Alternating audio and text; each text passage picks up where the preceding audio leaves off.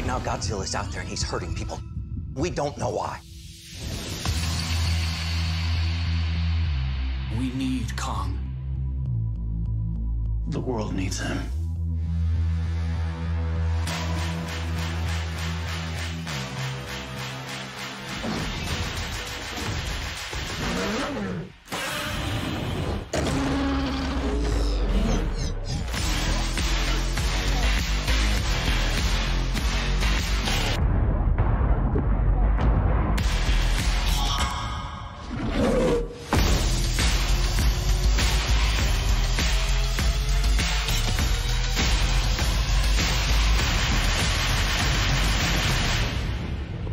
There can't be two Alpha Titans. In theaters and on HBO Max, March 31st, rated PG 13.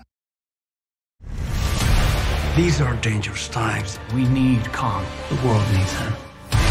Two of these classic monsters are going head to head. That's really so exciting. It is a spectacle. It's unlike anything you've ever seen.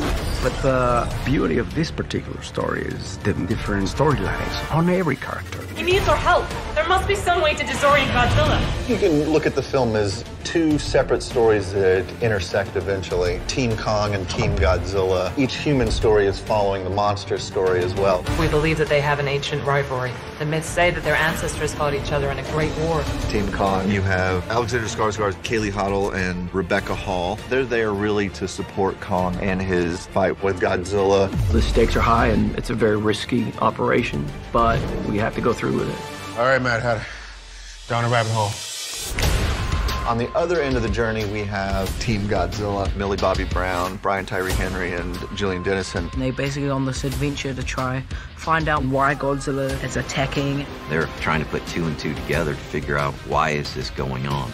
They're an amazing team. They complement each other so well. To be a part of that team is great. Just trying to figure out how to actually understand Godzilla rather than trying to destroy him. I keep reaching for greatness because I'm built from we always saw the movie as being separated between Team Godzilla and Team Kong, and that was exciting to me doing this movie. Team Kong or Godzilla? I'm a Kong guy. I don't know. I gotta root for Kong. Hard for me to choose, but as a Japanese person, Godzilla. I like King Kong because he's a giant monkey and monkeys are cool.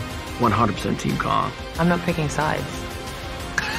You don't really want to pick a side? You kind of got to pick a side. Team Godzilla.